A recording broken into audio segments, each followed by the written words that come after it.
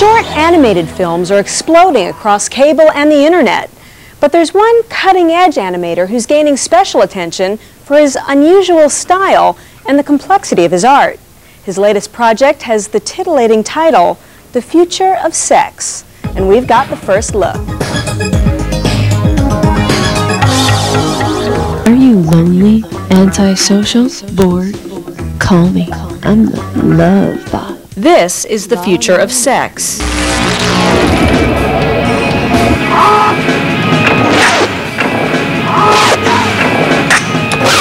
This is the future of art. And this is the creator of these animated films. Meet Meats. Yep, that's his nickname, one he's had since high school.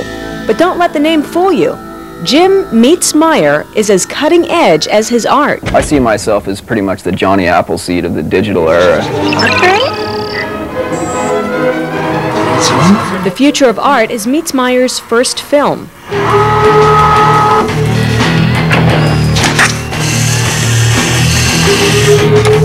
It's a showcase for his twin passions, art and technology.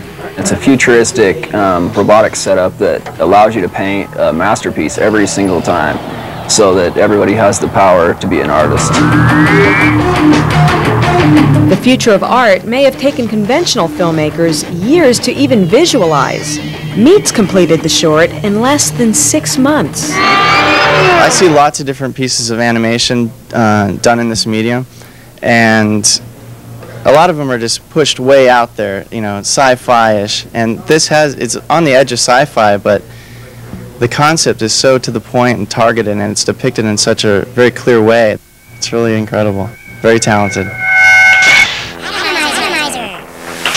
This is Meats Meier's Funhouse. It really is his house. It's not an artsy New York loft like you might have expected. It's actually a ranch-style house found in the heart of Salt Lake City, Utah. It's also his office, and it's also a lot of fun. In my creative environment, I like to have a lot of pictures and a lot of weird stuff for times that I'm just trying to think up ideas. All of the pictures and weird stuff are Meats' art, including this one, his first airbrush painting. Its name, The Devirginizer. I painted this picture at a party in front of about 20 people. I painted it upside down, and it took me less than 30 minutes to paint. From painting to rendering digital masterpieces, you would think that Meats had been working with computers since Commodore was 64. But it's only recently he's gotten into animation and filmmaking. Well, I had been working as a t-shirt designer for several years and as well as a freelance airbrush artist. And I got a phone call one day from a gentleman that was just starting up a video game company and he was he asked if I'd be interested to come down and take a look at what he was doing. That gentleman was game developer Clark Stacy. I think most respectable cultures would have locked him up a long time ago, and instead we we give him powerful computers and, uh, and software and, and let him let him make these things. With an unquenchable curiosity and raw talent, Meats developed an exceptional ability to create using computer technology. He is somebody who can take something and bring it to life, which is a very unique skill.